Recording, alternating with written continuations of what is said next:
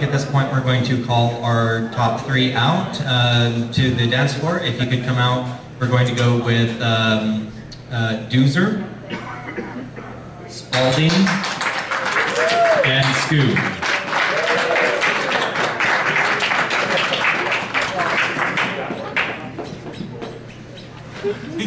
All right, so I think uh, Whitey, you can uh, you can announce who's our third place winner.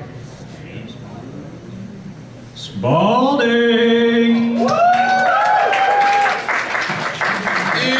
second place, Doozer!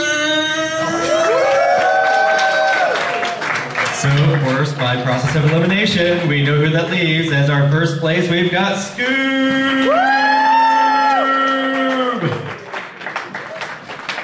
Thank you very much, everyone. Let's all go and drink.